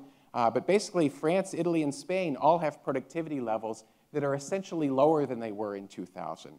Uh, France maybe 2% lower, Spain maybe 5% lower, and Italy maybe you know, more than 10% lower. And so um, it's not just enough to explain why is productivity growth slowed, but at least in many of these economies, productivity growth has been negative for a long period of time. And that, that provides a particular challenge, I think, um, uh, to, to, understand. Okay, growth theory offers uh, two basic uh, ways to understand uh, the determinants of TFP. Um, the first are these idea growth models that Philippe pioneered along with uh, Peter Howitt and Paul Romer. Um, And if we want to understand slowing productivity or, or maybe a decline in productivity, I think the decline in productivity the idea-based models are, are, less helpful for. But certainly for slowing productivity, uh, we might think about it as, as coming potentially from two sources. First, it could be harder to find new ideas. Maybe there's something um, with the production function for new ideas that says it's getting harder. This is something that, that Bob Gordon's uh, emphasized. Um, second, it could be we're, we're looking less intensively. So maybe we're just not looking as hard for new ideas as we used to be. So the inputs could be, could, could be not performing as well. Um, so idea-based growth models is one sort of way to get a handle on TFP. Um, the other theory we have is misallocation. Um, and this is uh, something that's been appreciated uh, uh, more in the last decade than ever before, and I think it's one of the important contributions of the growth literature in the last decade. It's associated with uh, Restuccia and Rogerson and Hsieh and Klenow. And, and the basic idea, which is very clever, is that misallocation, the misallocation of resources, of capital and labor or other inputs, misallocation at the micro level, when you aggregate up, shows up as low TFP at the macro level. So TFP is about how are you using your capital and labor in the aggregate. You've got a certain amount of capital, you've got a certain amount of labor. Well, if that stuff is misallocated at the micro level, that means the economy is less efficient and it shows up as aggregate TFP. And so misallocation, I think, provides a particularly uh, useful way to get a handle on declines in TFP because rising misallocation would reduce the level of TFP. And so that, that's, a, that's a particularly useful uh, insight for possibly explaining some of the, the weak performance that we've seen in productivity. Um, so those are the two, the two theories that I want to explore, and I'll, I'll take them in turn. Uh, so first, the evidence um, on ideas. um, so, so, so, this slide draws on some recent work I've done with uh, Nick Bloom, John Van Reen, and, and Michael Webb. Um, and the basic idea of this project is to apply the Solow growth accounting methodology to the idea production function. Okay? And, and what we find kind of everywhere we look is that ideas, and in particular, I guess, the exponential growth that results from the discovery of new ideas, um, are getting harder to find. Exponential growth is getting harder to achieve. Okay, and the way to, the way to start to understand this is with the equation in the middle of this slide. Um, virtually all idea-based growth models rely on an equation like this, where economic growth, driven by the discovery of new ideas, is on the left-hand side. It's produced by the discovery of new ideas. And on the right-hand side, we see that where does growth come from? Well, it comes from uh, research effort multiplied by the productivity of those researchers. Okay, and so I want to use this kind of equation as an accounting framework to understand where our growth is coming from and whether what's happening to idea TFP. Um, essentially, it's, it's a Solow exercise. We can measure growth rates reasonably well. We can measure research reasonably well. And so we recover TFP in the idea production function as the residual from applying this equation. Okay, and we've done this in a bunch of different places. Um, I did this long ago for the aggregate economy, uh, for the US economy, and there you know that growth rates you know, over long periods of time are relatively stable. If anything, they've been declining recently. Um, what about research effort? Research effort is rising enormously in the US economy. So if you go back to the 1930s, uh, the US economy today has roughly 20 times more research effort than it did in the 1930s. Well, if you combine that with stable or declining growth rates and enormous rises in research effort, you see that, you know, by definition, in some sense, idea TFP has to be falling dramatically. And we find that, you know, since the 1930s, um, it's roughly 20 or 25 times harder to generate the exponential growth through research, uh, you know, today than it was in the 1930s. Um, what we do in this new paper is apply this methodology everywhere we can at the micro level to see what's going on with sort of you know, uh, detailed innovations. So we look at Moore's Law, we look at agricultural productivity, you know, the uh, production of uh, wheat, cotton, soybeans, and corn. We look at various medical innovations, so pharmaceutical innovation, uh, mortality associated with cancer or heart disease, um, and we look at firm level data from Compustat. So a, a very diverse range of sources um, that involve you know, different data measurement issues uh, and things along those lines. And the robust finding we find everywhere we look is that you know, idea TFP is falling quite dramatically. So my favorite example of this comes from Moore's Law. So Moore's Law, as you know, is, is this statement that um, the density of computer chips has been doubling every two years for much of the last half century. And since the doubling time is constant, that corresponds to a constant exponential growth rate. um, some, a growth rate of like 35% per year, so really rapid growth. Well, how has that growth been achieved? How has that stable growth been achieved? Not surprisingly, it's been achieved by throwing more and more resources at the problem. So the number of researchers looking for ideas related to Moore's law has grown tremendously. In fact, you know, one way to summarize this is to say it's essentially 75 times harder today to generate that doubling of computer chip density than it was in the 1970s. So, so to, to conclude this slide, I mean, basically what we find is everywhere we look, ideas are getting harder to find. The interesting thing, though, with respect to today's conversation, is we find that's always been true. That was true in the 1970s, and the 1980s, and the 1950s, and the 1960s. It's always been getting harder and harder to find ideas, and so we've been throwing more resources at the problem to generate the exponential growth. We don't find any significant evidence, I would say, that something changed in 2000, that it's uh, even harder today than it was in the 1990s. And so I actually think um, there's a lot to this story that ideas are getting harder to find. But at least when we've looked at the evidence, we haven't found that this is a source of the slowdown in productivity since 2000. Okay? Um, one other thing I want to draw your attention to on this equation while I've got the, the slide up is that the number of researchers rising is the key to offsetting declining idea TFP to get productivity growth in the economy. And so it, I, I think of this as the Red Queen model of economic growth. You have to run faster and faster to maintain the same constant growth rate. And if we ever slow down our running, that would slow down growth. And so that's what I want to turn to next. What, what's happening on the input side? Let me skip this slide and, and go here. This shows you research employment, R&D employment in select economies. And one thing to appreciate is that you know, the productivity growth in the US or in Portugal depends on ideas created everywhere. So you want to look at the worldwide inputs, not just you know, researchers in Portugal or researchers in the United States. And so I've got a, a collection of economies here. You could see the interesting thing is the input growth research input growth has slowed down. So in the EU is, is the smallest slowdown, say from 3.7 to 3.1. The US has a slowdown of about a third from 3.2 to 2.1%. And then intriguingly, Japan has a remarkable slowdown that you know, goes back to the 90s in their research effort. And so uh, this at least is suggestive evidence to me that there may be something associated with slowing research effort uh, in terms of explaining the slowdown in productivity. And in fact, one of the young economists, uh, de Ritter, uh, suggests that uh, one reason for this after the financial crisis is the interaction between the financial crisis and financial constraints and, and research investment. Um, so that could be part of the story. Okay, let me turn now to evidence on misallocation. Um, I mentioned before that you know, th this misallocation literature, I think, is one of the, the, highlights of the growth literature in the last decade. Um, the insight is relatively straightforward it's that the efficient allocation of resources requires equating the value of the marginal products of inputs across firms. And so you can use dispersion in the marginal product of inputs as a measure of misallocation. And so Hsieh and Klenow and a, a number of follow-up papers have explored this.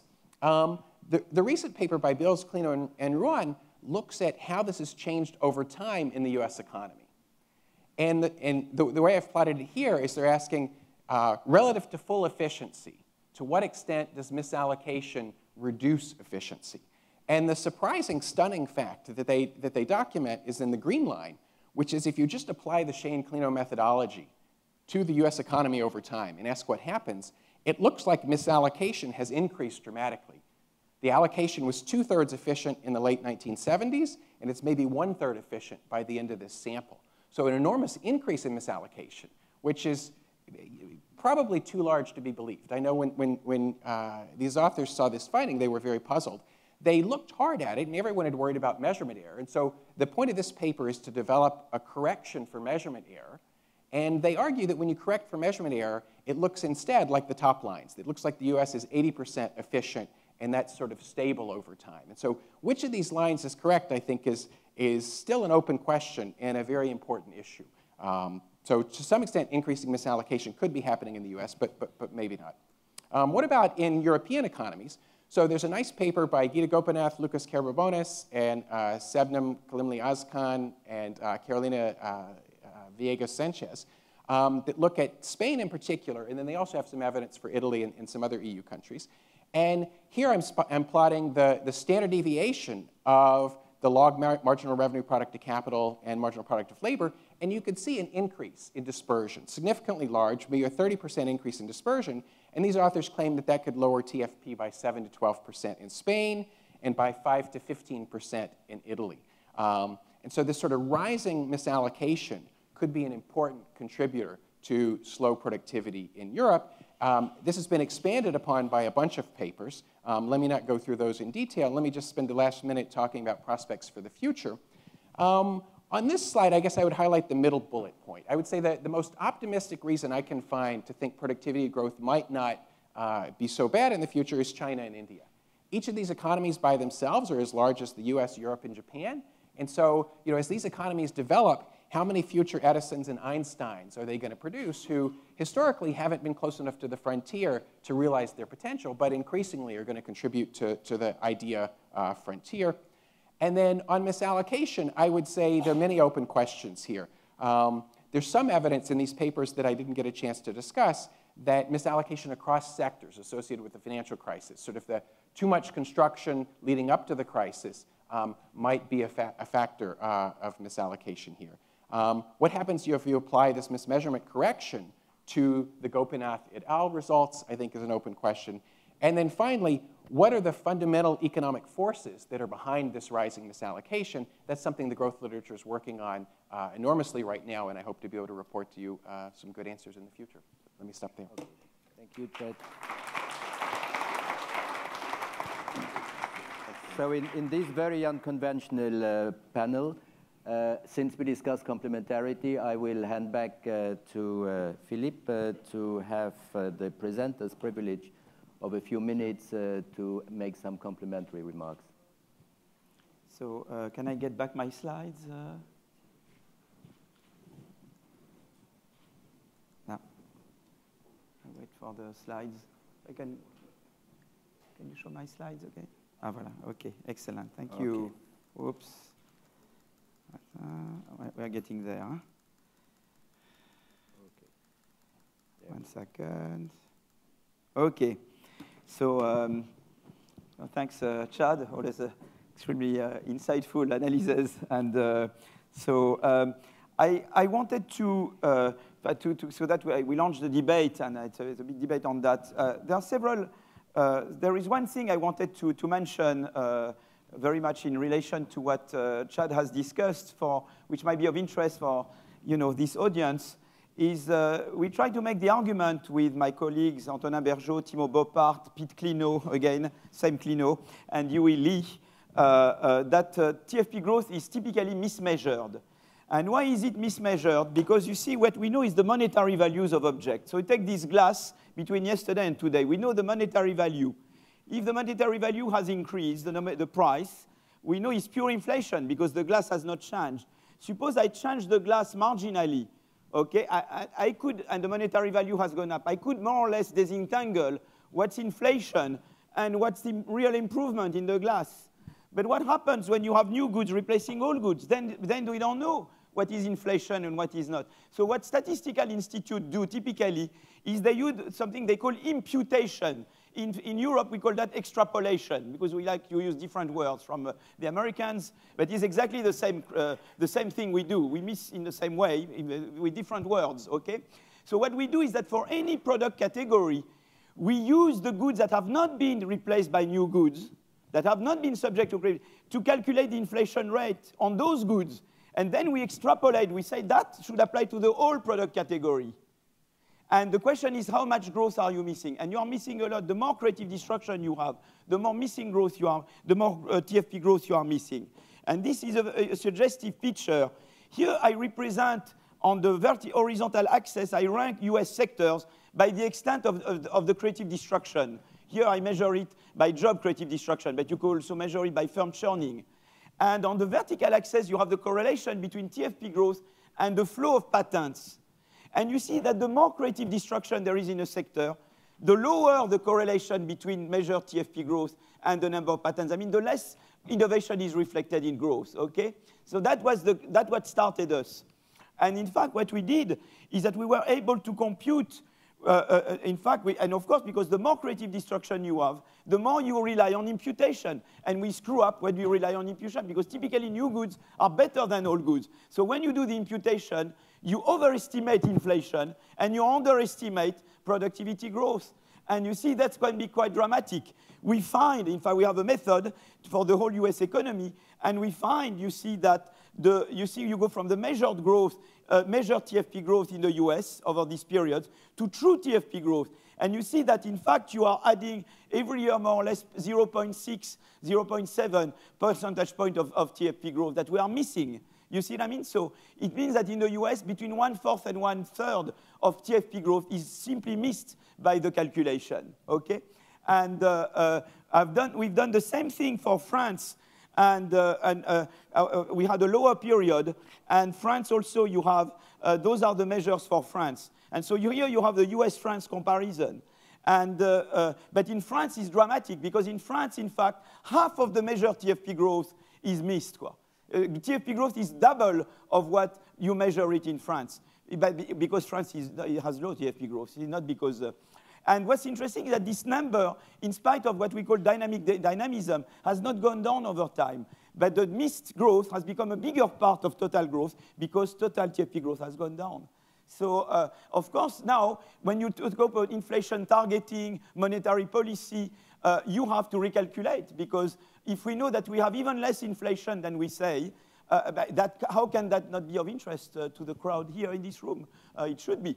Uh, uh, so that's one thing. I, first, two remarks on, on, on, on Chad, which are very interesting. On, we had this discussion yesterday. You find that ideas are harder to find in given sectors. The question is, we may keep finding new sectors where, again, we can have. So maybe we may have decreasing returns to ideas in any sector, but maybe we keep finding new sectors. Those are the questions we were wondering yesterday, and I, I wanted to have your, your, your feedback. And on the misallocation, I think that I was, we were wondering, and that's a discussion I have with uh, Ufuk uh, Akcigit and with Gilbert Cette at the Bank of France. It could be that the, the you know, the lowering of bond yield, you know, the, the, easy, the quantity easing or the, the easier monetary policy, which was, had many good aspects to it, maybe also allowed more inefficient firms to remain. You could look at the effects of those on firm dynamics. And it could be that the monetary policy itself had a, it's good to lower interest rate in recession, but maybe there is a downside to do it too long is because you may have an effect on firm dynamics. You may allow less efficient innovators to remain and prevent entry by more efficient innovators. So what would be very interesting, and that would be a way to, to match your part and my part of this, would be to look at how monetary policy, if you maintain low interest rate too long, you, you affect negatively the firm dynamics, and that could be feeding back into the misallocation. And that, I think, would be something. Sorry, I'm, I'm done. Well, thank you. I'm done, finished. Okay. No uh, more of me. Wow. Thank you very much, Philippe. Um, this session uh, started slightly uh, behind time, so I don't want to, you to prevent to participate in this discussion. My attempt will be to channel all the energy from Philip into the audience for this discussion. And uh, I would therefore ask uh, that we take 15 minutes of the coffee break and uh, maybe that uh, we would then have 20 minutes discussion. So uh, I will uh, call for first round of uh, questions on this side. please do, as always, present yourself for the convenience of those who don't see you. Volker Wieland, German Council of Economic Experts. Um, coming back mostly to the first two talks, I mean, Robert Hall and Gauti Eggertsson uh, pointed out there was some, something unusual in Germany or the heterogeneity was particularly pronounced. And since we, in our council, keep looking at Germany every year and write a report for the public and for the government, I just wanted to offer some additional comments on that. First of all, if you look at Robert Hall's uh, chart, the change in Germany happened actually in 2005, not in 2007. That's when it kind of starts rising, the measure you looked at, in other measures too. So, you know, in terms of thinking about what's driving it, when we argue, talk about what happened before, what happened in the period before, and uh, that was also a quite different period to some of the other countries you looked at for the euro area. For example, you know, in Germany, we had a huge unification boom, real estate boom, which we took many years to get out of the side effects. So just at the time when Spain was embarking on this real estate boom, uh, we were the sick man of Europe, according to the economists. And if you look at 2003, 2004, then um, the things that changed at the time in terms of the policy perspective was massive uh, tax reductions. So this is the only major tax reduction we had in a long time labor market reform, uh, and also a very um, a focus of the unions on job security versus versus um, wage. Um, and uh, then if you look at the period afterwards, uh, there's been a change in the structural rate of unemployment. We've really created a low wage sector which massively expanded employment. And so from the supply side, created demand, you know, changed the demand conditions in the country. And you have to look at it as a two-sector economy at the same time, we have a high-wage export sector, um, which didn't grow that much in employment, but uh, certainly grew. And then um, there's some element of luck. You know, we were hit by the recession in terms, terms of output very strongly, in terms of employment not much, because they kept on the employment. And uh, we had a, an element of luck if you think of, you know, there's not just the countries you looked at, but the demand for that export sector came back from Asia, from China, and from California. That's where all the Porsches are, are driving around. And uh, so uh, I think summing up, uh, Robert Hall, contrary to Gauti, emphasized uh, that you really have to look at the supply side. And I think that, you know, if you look at the heterogene heterogeneity in Europe, uh, I think you have additional evidence for that. So I think most of what happened in Germany was more driven by the supply side uh, factors. And that, I think that also changes the policy recommendations you could give. In terms of productivity, uh, you have to think of composition effects, which, to, which are part of it. For example, you know, the, of course, productivity stopped growing very much as we increased the size of the low-wage service sector, right? Because there you don't see much productivity growth. That's only a part of it, but maybe an interesting element. And just my final point, uh, in terms of income inequality, we're still a country with a huge amount of redistribution. So even after those uh, reforms. And so in fact, income inequality, in spite of after tax and transfers, didn't increase since 2005. Okay, thank you, Volker. I take some more questions. Please be more concise to take as many questions as possible. I, I just, Michael Burda at Humboldt University, I wanted to pile in also on the German thing. Germany has got different institutions, and what happened in Germany is really exceptional. Bob Hall shows that, and it's interesting to know why. First thing is they increased labor force participation from 60% in the 1980s to just under 80%. And this has been done by increasing part-time work. So looking at earnings per person is going to pick that up in a very interesting way. And it's kind of like work sharing because total hours in Germany haven't changed much since the 1990s. They've grown a little bit since, the, uh, since 2010, but they've actually been pretty stable. The second thing is that wages have not grown since the mid-2000s. And third, dispersion of wages has gone up. So what Volker was saying about the low wage sector is exactly right. The question is, why did Germans take up those low paying wages? And the answer is they had labor market reforms that basically forced them to by cutting unemployment benefits, duration, and replacement rates. So that's the, the key thing is understanding this, the, it's not really a miracle, it's just basic neoclassical economics working the right way. Thank you. And the third question, Yanis?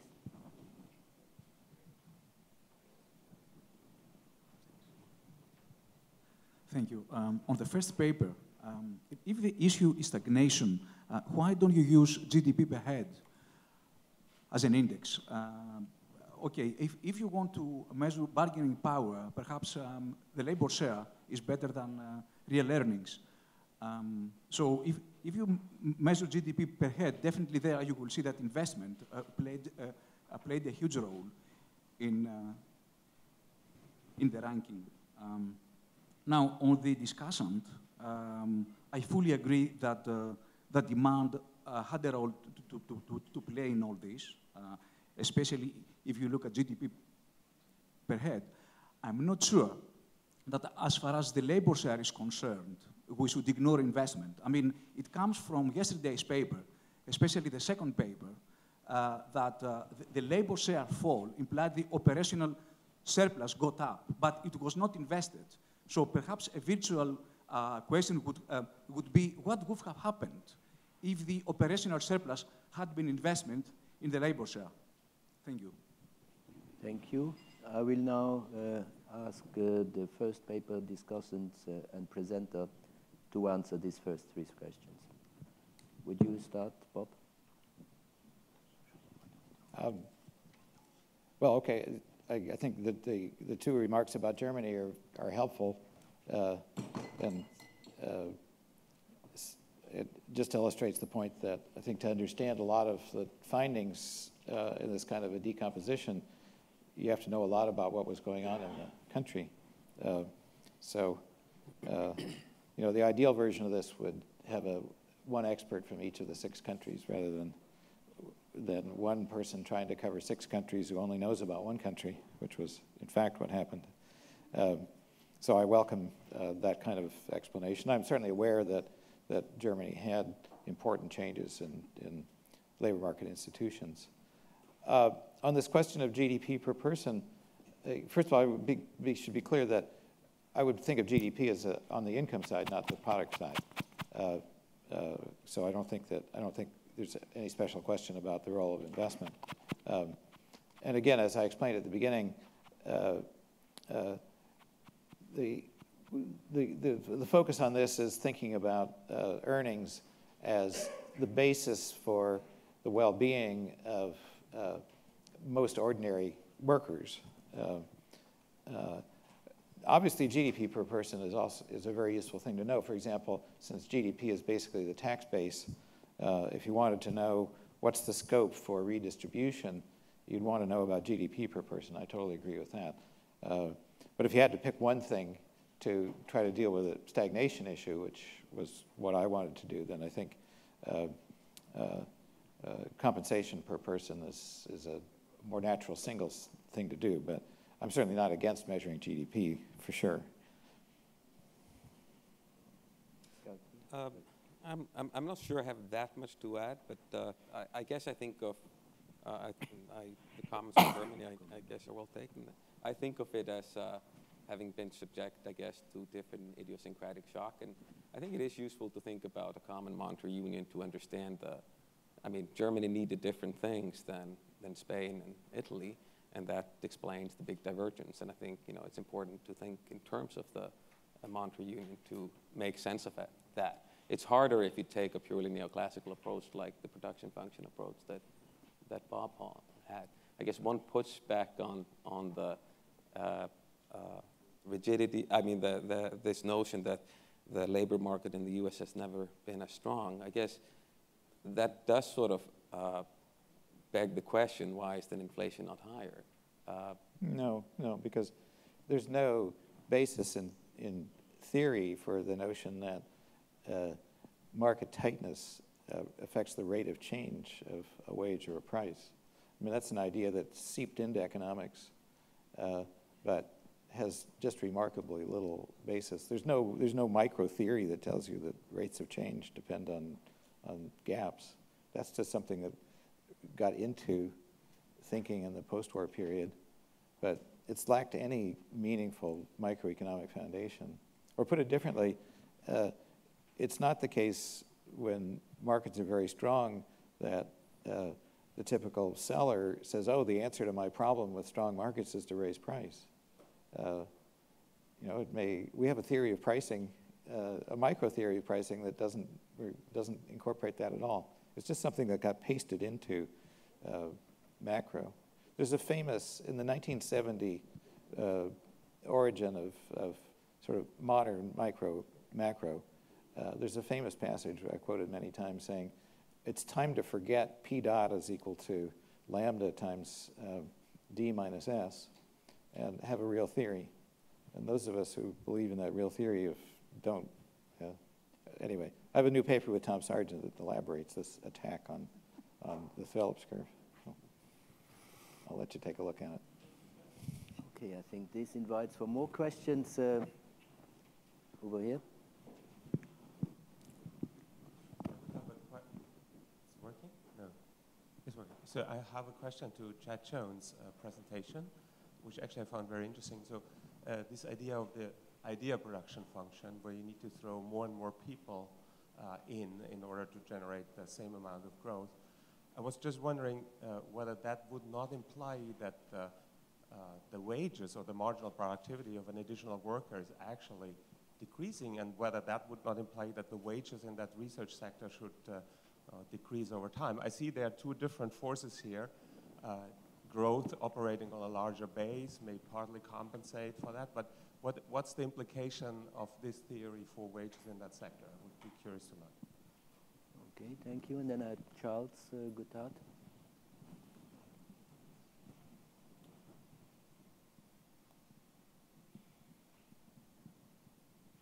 Uh, much of the analysis, Charles Goodhart, London School of Economics, much of the analysis about European differences relates to real exchange rates, which have been very favorable for Germany and very bad for Italy and Spain but there was no mention of real exchange rates from, from the speakers. Second question is that the speakers all seem to assume that TFP is an exogenous factor driving wages and earnings. How about reverse causality? When labor is cheap and plentiful and profitability is high, why bother to try and get the last ounce of uh, output from your workers? Can't it be that the problem is that low wages are driving low productivity rather than the reverse? Thank you. And then I still have Philip Lane at the end.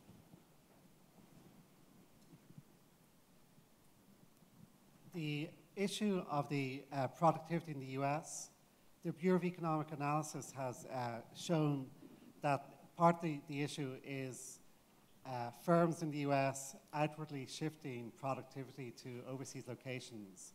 So through, for example, contract manufacturing in, in the uh, Far East or uh, uh tax planning in terms of location of intellectual property elsewhere um, means that maybe, and it can be quite big according to Bureau of Economic Analysis, that the rate of productivity growth in the US is understated and this is mechanically, uh, the economic incentive to do so is, is, pretty strong given the US tax system. Thank you. So we start this time on, would you start? Sure, sure, absolutely. Um, so this first question was a, was a great question. If we're, if we're throwing more and more resources at the idea production function, doesn't that imply that the marginal product of those resources is going down? So wouldn't we see wages going down? And is, is there a problem there? Um, I think there, there are two answers to that question.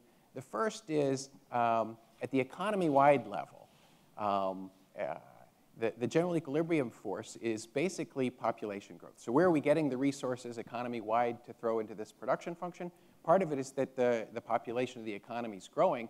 The growth in the population provides the demand as well. And so the growth in population provides the supply, the growth in the population provides the demand. And so in general equilibrium models, the wage of researchers grows along with the wage of, of workers, and there's no, there's no problem there. Everything's in line. Um, when you look at the micro evidence, I think new forces get, can, can, be involved. So, for example, with Moore's Law, we're clearly throwing more and more resources at Moore's Law at a much greater rate than we are in, in, other, in other parts of the economy. Um, and I think that has to be explained by some, you know, uh, general purpose technology features of information technology. And so that would provide the, the demand side there. You know, uh, across the sectors, researchers have to have wages that are equated. It's the same misallocation point. And so um, I think everything hangs together when you look at the general equilibrium model. thank you. Okay. Philippe, would you like to comment? Yeah, there's no, no, no. nothing to add. Okay, that allows us oh, for... Wait, wait, wait.